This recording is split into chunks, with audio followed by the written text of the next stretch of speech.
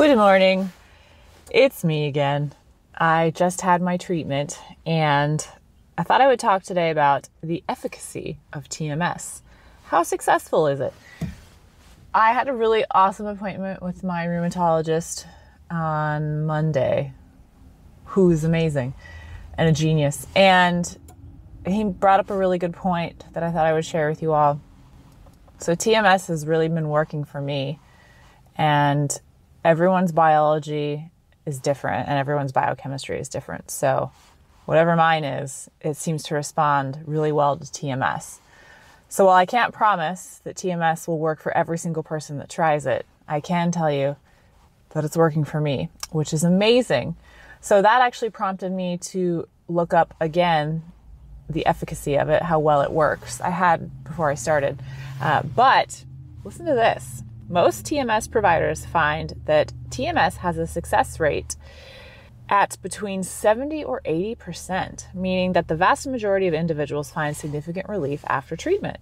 About 50% of people experience complete remission.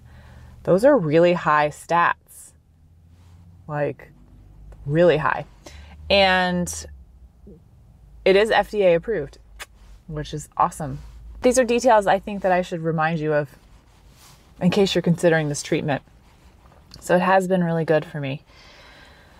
and then I see like right under, can TMS damage the brain? No, TMS doesn't cause brain damage. This is assuming that all the screening measures are taken and that there are no contraindications to the magnetic treatment, as in no metals in the brain. So if you have a metal implant in your brain, you might want to tell them. Anyhow, those are a couple of fun facts for today. And I've decided, so I also have fibromyalgia, and I know that's a totally stereotyped condition, and it shouldn't be. Uh, chronic pain is real, and there's evidence that fibromyalgia is real. Science has advanced, folks. I'm on two medications for that. I kind of want to see if my pain is getting better on TMS too. So I'm starting to wean off one of those medications. I'm just curious because I know that chronic pain and neural pathways and depression, it's all just a vicious cycle, and I think it's all related too. So, that is an exciting part of my journey to announce that I am starting, and I will let you know about that. It might not work, but it might. It's a good time to try. And that was my stomach. Did you hear that? I'm hungry. I just rolled out of bed. And it was funny uh, I don't know if she wants me to use her name, so I'll make up one. I'll, let's call her Zelda. Zelda was like, Oh, you have such pretty hair. And then I was that totally annoying person that said, Oh, I just rolled out of bed, which I did, and I didn't brush it. So that makes me feel good about not brushing my hair before treatment. This is totally rambling, but I'm just trying to think of something to entertain you because I'm kind of uh, tired and slow going today. but overall, I'm still feeling pretty decent.